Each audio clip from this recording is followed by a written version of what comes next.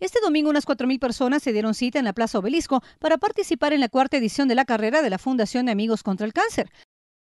La carrera se llevó a cabo con el objetivo de recaudar fondos para beneficiar a pacientes que acuden a esa fundación y constó de una prueba de 10 kilómetros y de una caminata de 5. El obelisco marcó la salida y la meta para ambas pruebas en la que hombres y mujeres de todas las edades no dudaron en participar para salvar una vida.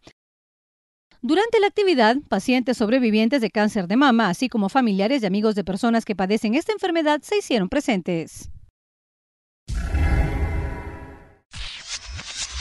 Publinews, lo más importante de las noticias, un diario internacional de Metro y del grupo Emisoras Unidas, 50 años.